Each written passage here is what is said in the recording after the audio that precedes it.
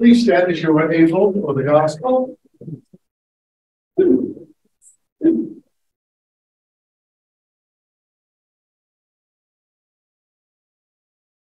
Hear the gospel of our Lord Jesus Christ according to Matthew. Glory, to you, Lord.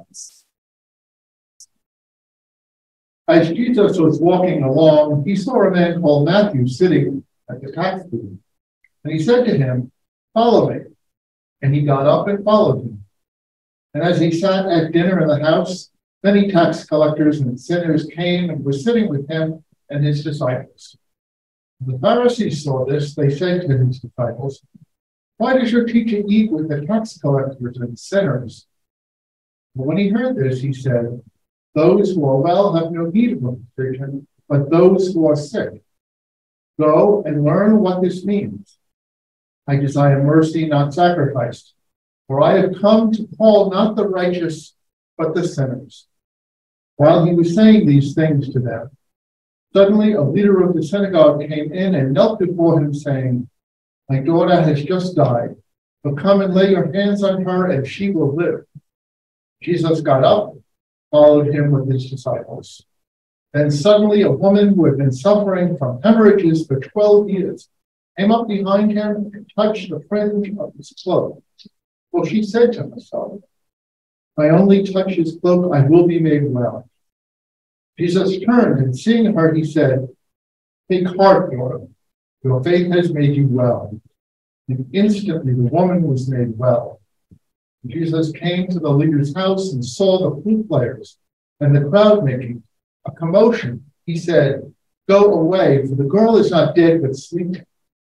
He laughed at him. When the crowd had been put outside, he went in and took her by the hand, and the girl got up.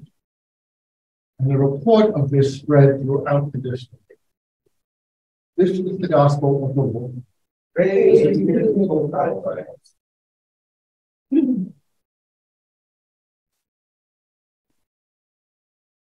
May the words of our lips and the meditation of our hearts be acceptable in your sight here today. Please sit down. Is this microphone working? No. No. Yes. Yes, you're, you're picking up. Yes. Just, I, I wasn't sure where I was here. So I, I'll stay here. I hate being behind, a lectern and I, I hate being up in the pulpits things. I would much prefer to walk around, but if the microphone is, is fixed, then I'm fixed. I can walk around anyway. Now, I want us, first thing I'd like to do today is who can make a, a butterfly with their hands? Is there some are some are better than others. Mine, I'm pretty poor at this. Have another, just try. Butterfly, butterfly. My favorite creature. Thank you. Thank you for playing along with me. Butterfly is one of my favorite creatures. A bee is another. Uh, and I have a sort of remembrance of it was a Muhammad Ali. It's, I dance like a butterfly, sting like a bee. So those, those are my uh, creatures. But today I'm just going to recall the Lorenz butterfly effect. And that butterfly effect is that when in the Amazonian jungle, a butterfly flaps its wings, another event takes place in Europe. There's a hurricane sweeps across southern Europe. And it is the notion that there is a, connection or a correlation between these two events. And that's something that we are reluctant to accept. Similarly, the butterfly may flap in the Amazonian jungle and the hurricane in the south, southern Europe may cease. So we, we're not necessarily saying causal effect. We're saying that there are effects that are connected, oceans apart. Now, these ideas come out of the chaos theory, and they go to show how apparently unrelated events and people are in fact very closely connected. The idea that there's an underlying connection between all things at the cosmic as well as at the molecular level.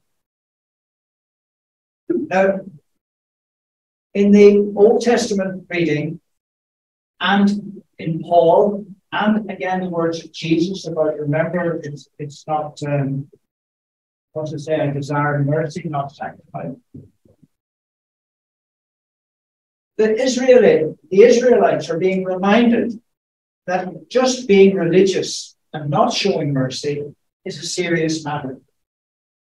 In Jesus' ministry, it was the religious, religious people who appeared to be beyond the saving or the healing gift of God.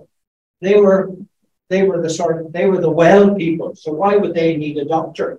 So all this criticism about Jesus mixing with with uh, people, un, ungodly people, uh, is really focusing on exactly what he wanted them to understand. So often religious people, including me, think that that, that, that applies to other people, not to us. So it's important for religious people to get that right. If we don't get that right at the start of the thing, then we're not going to get the humility to convey the message of what the love of God was about. In the gospel today, we have a serious religious leader, Jairus, whose daughter is dying. Now, I read from another version of this, another, another um, gospel reading. Having heard of Jesus' actions, this man, this religious leader, is willing to entrust his daughter's well being to this, this man, this rabbi, Jesus. How old was the daughter? It doesn't say it in this reading, but you, does anyone have a, a recollection of the of how old she was described to be in another gospel reading? No? Higher, higher. She she was 12 in one of the other gospel readings. You're right? I was right. Good. I do. I was right. All right. so so there's so we're 12 was the number that was identified. I didn't pluck it out of nowhere. It's written down in one of the other gospels. And then we hear of this woman who has a bleeding condition, making her unclean in religious terms, and sort of a, a bit of an outcast, certainly an outcast for religious people. And then just touching Jesus' garment was enough to bring her the healing that she longed for. How long had she been suffering with this problem? 12 years. Now, I don't want to make a big deal out of this. But do you see the possibility?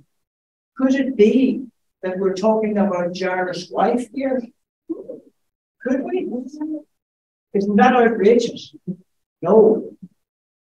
Why would these stories be intertwined in the, this way in the Gospels, in the Synoptic Gospels? If there were no reason to connect them in some in some dimension as I say, I don't want to make a big deal out of this observation, but it's just for us to see possible connections in people and situations. Maybe her bleeding was something connected to her daughter's birth, something which had caused serious dysfunction within Jairus' family.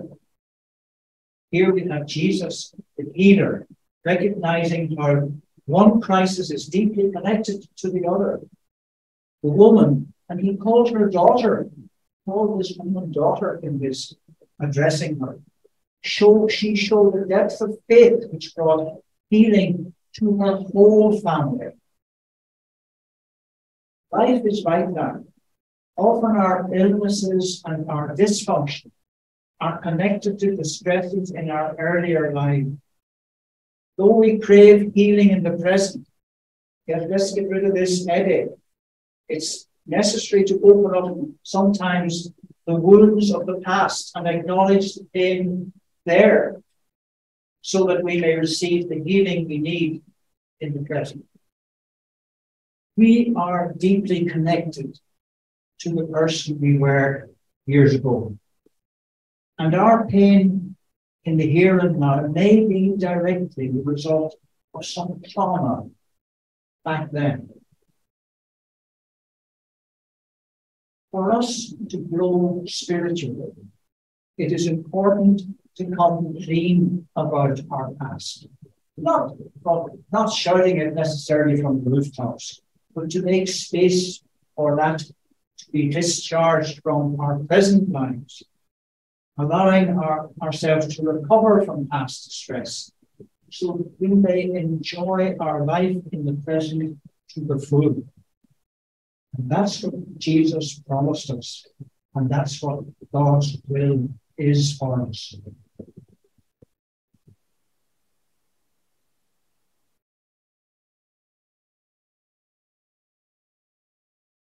To him who by the power at work within us is able to do far more abundantly than anything that we might ask or think.